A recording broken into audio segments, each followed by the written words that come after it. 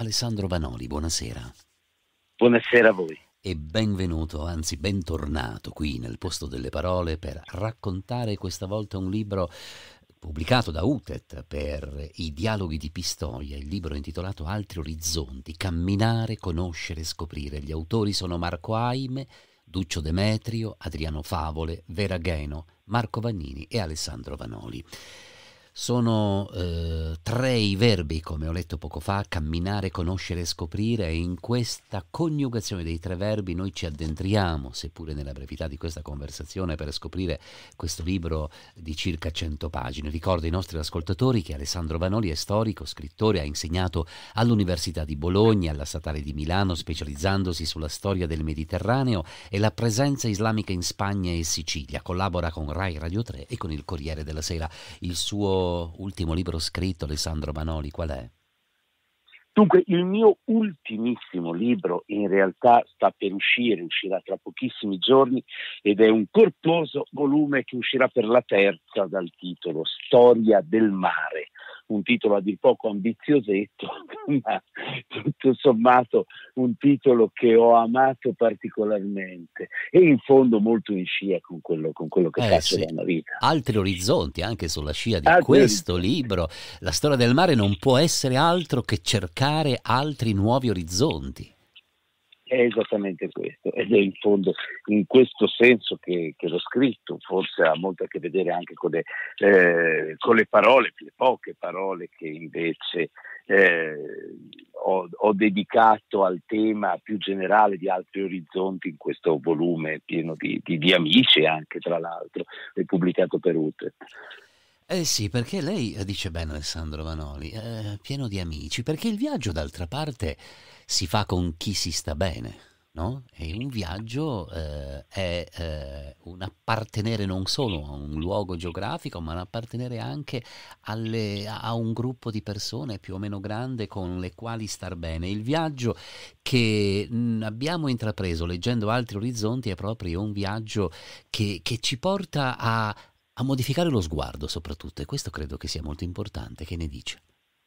Sì, il punto di partenza era anche il punto di partenza della mia riflessione, però credo il punto di partenza eh, per qualsiasi considerazione sul viaggio forse può essere proprio questo, e cioè in fondo è una condizione che ci appartiene probabilmente da quando siamo scesi dagli alberi, insomma da qualche milione d'anni fa, eh, il fatto che siamo eh, caratterizzati dalla necessità di superare l'orizzonte che ci preclude lo sguardo, mm, sia il mare, siano delle, delle montagne, e quel tipo di sfida ce la siamo portati dietro e quel tipo di sfida porta con sé proprio questo, cioè il verificare che cosa c'è dall'altra parte e verificando cosa c'è dall'altra parte, verificare ciò in cui noi crediamo, ciò che ci siamo immaginati.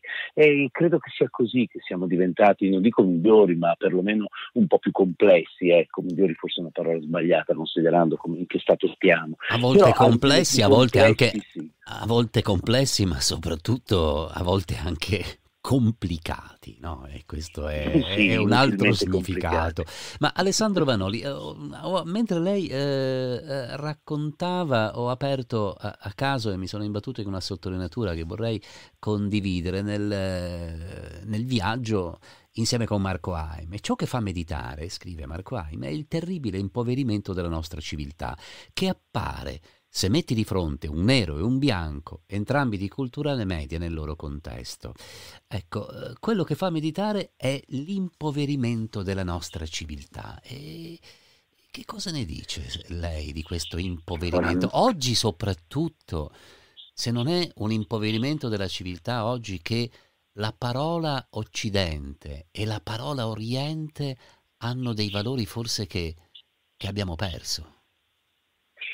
Guardi, qui il discorso rischia di diventare un ginepraio, a parte il fatto che non mi permetto di eh, eh, valutare perlomeno le, le, le parole di Marco, eh, ma non perché non, non, non, le apprezzi tutt'altro, ma perché c'è sempre una certa distanza di metodo tra uno come me, che è uno storico, e un antropologo come lui. Dal punto di vista del sottoscritto la cosa è leggermente diversa. Io non credo, francamente, che noi rispetto a un ipotetico passato ci si sia impoveriti davvero. Cioè la banalizzazione di ciò che abbiamo di fronte è vecchia pratica per la verità e il nostro presente che non è un gran bel presente obiettivamente, però fortunatamente è complesso. Noi abbiamo imparato tante cose in questi anni, vorrei spezzare una lancia per la miseria che abbiamo, tutto sommato, e per la qualità talvolta della miseria che abbiamo. Noi abbiamo affrontato ultimi, nell'ultimo secolo delle, de, delle, sfide di conoscenza non da poco, e abbiamo in, usato in maniera becera l'idea di alterità, l'idea, di, eh, l'idea razzista di alterità, l'idea, l'idea politica più, più svilente del, del, concetto di nemico, che è una cosa che purtroppo stiamo vedendo funzionare benissimo ancora oggi. Ma non è che non abbiamo imparato niente da tutto questo. Eh? Mm, c'è una larga fascia di riflessione in realtà eh, che è nuova alla fine dei conti sul fatto che la diversità è un valore e questa è in sé abbastanza una novità, occhio, perché storicamente è roba di pochi secoli e si è fatta strada, un pertugio piccolo piccolo, in mezzo a devastazioni, in mezzo a guerre, in mezzo a violenze, in mezzo a ogni tipo di schifezza umana, però quella strada se l'è fatta ultimamente, sei molto giovane quella particella di complessità positiva e io la tratterei bene, cercherei di tutelarla e di pensarla come una grande risorsa, perché eh, come si vede anche anche oggi ci vuole niente a disperderla nell'ambiente a dimenticarcela e a far ritornare fuori il peggio di noi con nazionalismi urlati e cose del genere. Ecco, quella cosa però è fatta di complessità. Il fatto che adesso vi siano culture o la possibilità di pensare una cultura variegata, di persone diverse tra di loro, che si rispettano al partire dalla diversità, Oh cavolo, questa è una novità, eh? E bisogna tenercela stretta. E ritorniamo, ritorniamo al viaggio e incontriamo le parole eh, di Friedrich Nietzsche. Io non scrivo solo con la mano, anche il piede vuole essere sempre scrivano, sicuro, libero, audace, mi accompagna correndo ora sul campo, ora sul foglio bianco. Le parole, come i passi, devono nascere in cammino. Le parole nascono in cammino anche per lei a volte, Alessandro Vanoli? Ah sì, decisamente sì. In, se per cammino lo intendiamo il senso più lato, il viaggiare, indipendentemente dal fatto che si usino i piedi o meno, ci sono poche cose come, come il, il, muoversi e lo sperimentare che danno la possibilità di, di, di di, di, dire le cose. Poi non è un assoluto, è occhio, cioè, ci sono persone che nella storia hanno potuto fare la stessa cosa standosene chiuse nel segreto della propria stanza, però alla fine anche in quel caso lì c'erano i libri a permettere il viaggio, c'è qualcosa che ci deve permettere di aprire la finestra e guardare oltre, perché sennò non ce la facciamo.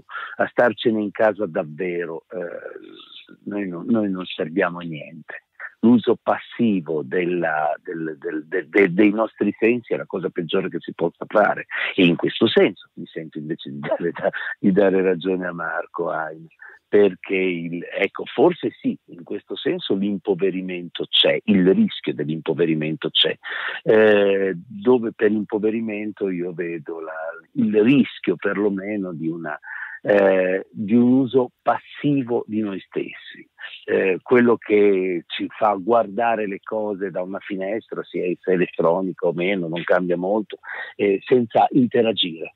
Anche il libro è un'interazione perché obbliga a decodificare le parole, a leggere, a, ad applicare, ad, ad approfondire nel senso etimologico del termine, andare a fondo, che è, che è l'esatto contrario di quello che accade quando invece guardiamo uno schermo, dove tutto ci appare contemporaneo, senza nessuna profondità. E naturalmente il viaggio aiuta molto di più. Ma il viaggio funziona bene se però le due cose sono, eh, sono eh, in sincro, intendo cioè la capacità di andare a fondo e la capacità di spostarsi, se no viaggiare non serve a niente, neanche quello, cioè se si viaggia da turisti seguendo una bandierina si può stare a casa, l'importante è mettersi in gioco, questo è il punto fondamentale, eh sì, eh accettare sì. la sfida di non riconoscersi una volta che ci si è spostati. E in questo c'è anche un atteggiamento molto spirituale, Alessandro Vanoli. Eh, per, per, alcuni lo è sicuramente, per alcuni lo è. Io francamente, che non, non sono arido, però forse, forse, sulla spiritualità ho un attimo di, un attimo di, di, di eh, di, di, di, freno, forse può essere una sorta di freno interiore o di astensione o di prudenza, via, mettiamola così, che, che, che è più gentile e forse anche più vera. Eh, non credo che sia necessariamente quello il punto, cioè si può tranquillamente sfidare propria, il proprio logos, la propria testa, la propria intelligenza, la propria razionalità, eh, giocandosi la carta del, del, dello stupore, ecco eh, del, degli infiniti mondi possibili. Ecco, quello, quello, credo che sia una gran cosa, nello spostarsi e nel mettersi in gioco, intendo. Ecco.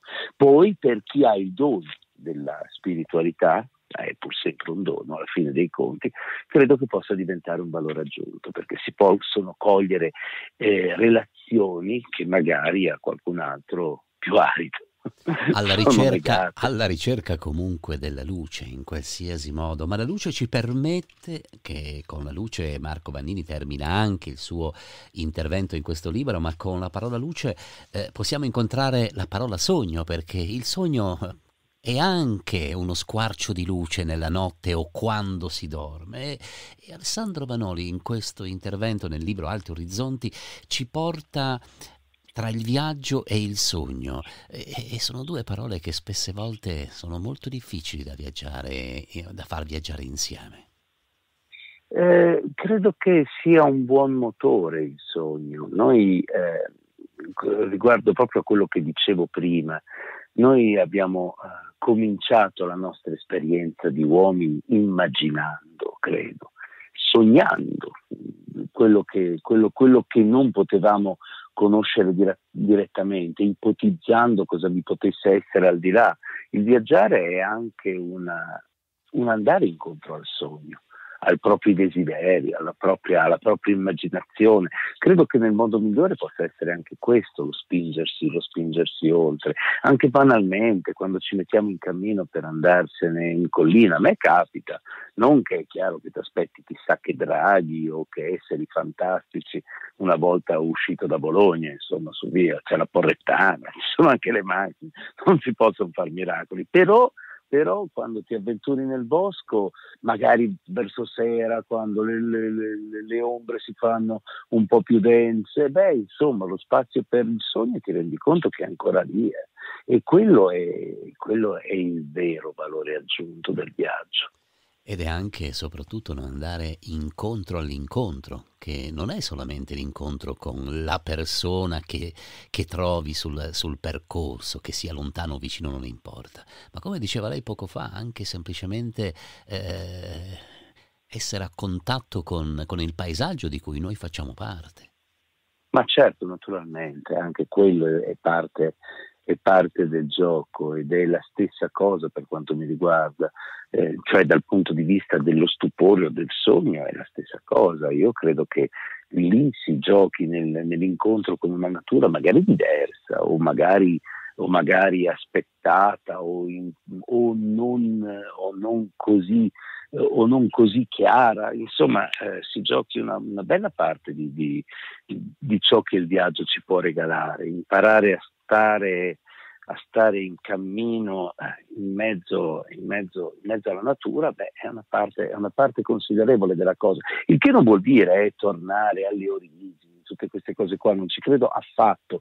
Qualsiasi, qualsiasi qualsiasi paesaggio che attraversiamo è un paesaggio fortemente antropizzato, anche se fossimo nella foresta nera, ecco, sarebbe un paesaggio fortemente antropizzato da millenni e millenni di presenza umana, ma non è quello il problema.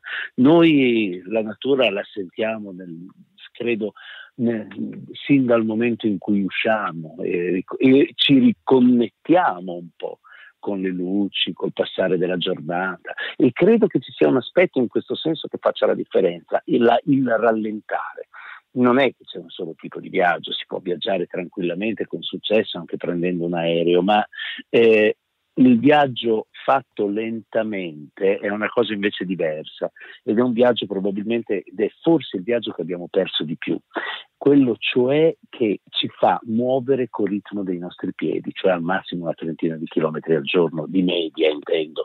Ecco, quel tipo di, di spostamento è uno spostamento che non ci fa cogliere le differenze nell'aria, nella luce, nei suoni, negli odori, perché poco alla volta si trasformano con noi mentre ci muoviamo mentre ci trasformiamo eh, per, per, per, riflesso. E questo tipo di cambiamento, beh, è qualcosa, non so dire se naturale, ma sicuramente è una cosa che, che ci riconnette davvero a un modo di essere che, che rischiamo di avere dimenticato ormai. Ma oggi... E di cui abbiamo un gran bisogno. Eh, abbiamo altro che un, bra- un, gran bisogno, nonostante, come lei dice, oggi come oggi tutte le terre sono state, tutte le terre sono state ormai scoperte, ogni mare è stato scoperto, eppure abbiamo ancora questa necessità, questo desiderio. È chiaro che proporre oggi il Grand Tour è, è improponibile, eh, però oggi eh, che cosa si può scoprire?